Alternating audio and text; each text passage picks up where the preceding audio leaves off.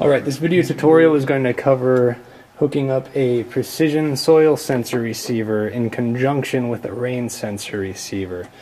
Uh, at this point you should already be familiar with the basic wiring for the precision soil sensor receiver covered in the receiver installation video tutorial. But just a quick recap, the receiver has a total of five wires coming from it. Two red wires with no polarity uh, that hook up to the irrigation controller's 24 volt terminal to get its power, and then a white and brown wire um, for plugging into a normally closed sensor port. And you would use the yellow wire in place of the brown wire if you happen to know you have a uh, normally open sensor port. So I've got a Irritrol rain sensor receiver here as well that we'll be using in this demonstration today. And the concept is uh, we'll be hooking these up in series, meaning uh, we'll wire one of these two wires into the controller and then wire one of these two wires into the controller as well and hook the remaining two wires together.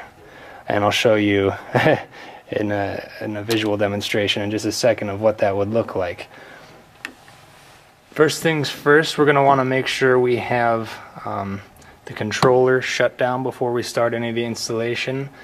And before we actually hook up any of the sensor wires, you're going to want to make sure you have um, both of the, the red wires coming from the rain sensor receiver as well as the precision soil sensor receiver hooked up to the 24 volt terminal. So you can see here in the interest of time I've already got it set up for us.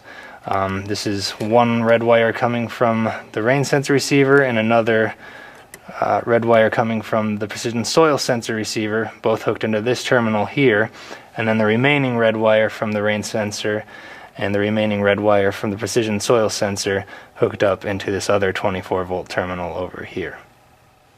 So now that we've got the red wires hooked up, the next step is going to be to remove the jumper from the sensor terminal on the controller just like that. It falls right out. And now what we're going to do is take one of the sensor wires from the rain sensor and one of the sensor wires from the precision soil sensor, just one from each. Doesn't matter which one, we could use the brown or white. The important thing is we're only using one from each and hook one into one of the screw terminals. So right now I've got the white wire coming from the rain sensor and then next I'm going to go ahead and take the brown wire coming from the precision soil sensor and hook that up into the other screw terminal. Just like that. Then for the last step I'm going to take the remaining brown wire from the rain sensor and the remaining white wire I have from the precision soil sensor and wire those two together using a wire nut to complete the circuit.